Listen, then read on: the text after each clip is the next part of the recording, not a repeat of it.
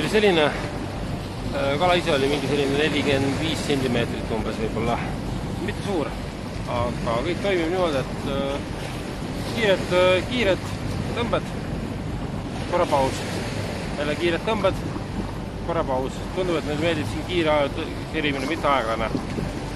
vaatame edasi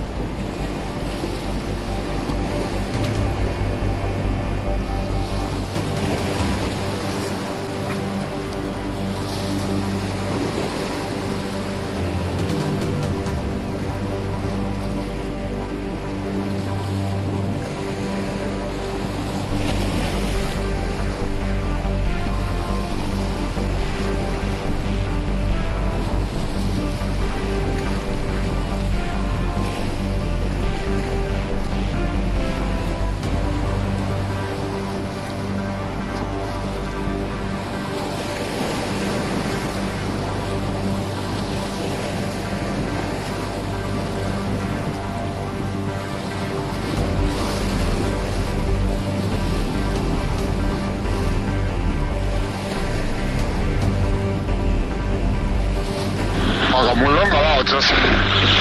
väsitan.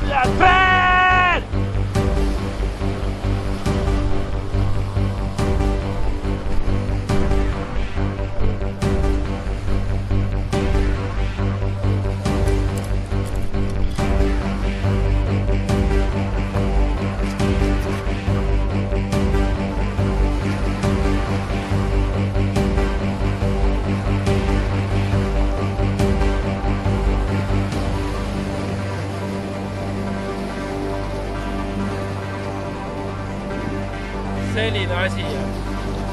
Selinagem. Ah!